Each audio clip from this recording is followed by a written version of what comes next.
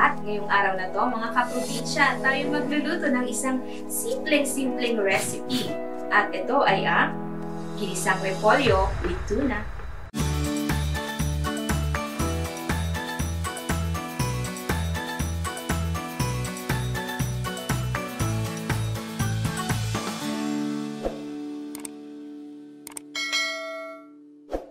Alamin na natin ang mga ingredients na kakailanganin natin sa pagluluto ng ginisang repolyo with tuna.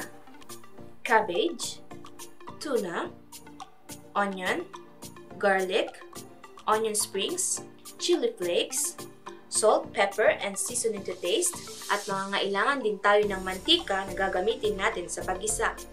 Tara na, umpisahan na nating lutuin ang ating ginisang repolyo with tuna. Magpapainit muna tayo ng mantika sa ating lutuan.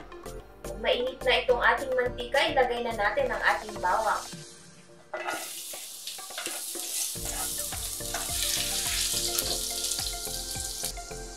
Sunod na natin ilagay ang ating sibuyas.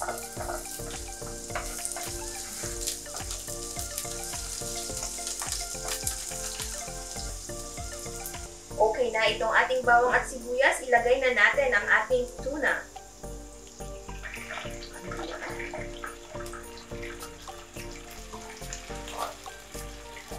Haluin lamang natin ito. Ayan, mainit na itong ating tuna. Ilagay na natin itong ating chili flakes.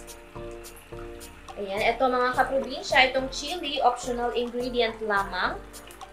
Pag gusto natin na maanghang, lalagyan natin ng sili. Pag yung normal lang naman, wag na tayong maglagay.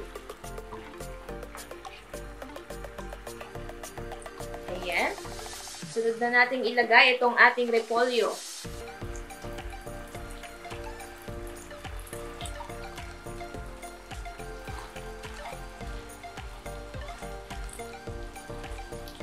Lagay na rin natin ang ating mga seasonings.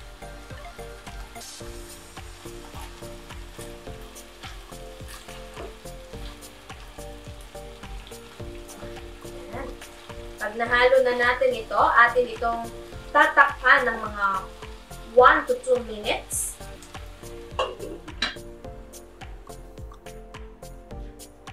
Ayan, after 1 minute, ito na ang ating repolyo. At ngayon naman ilalagay na natin ang ating onion springs.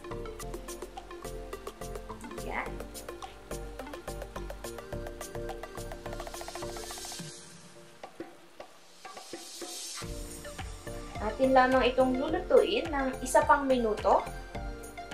At ready na ang ating ginisang repolyo with tuna.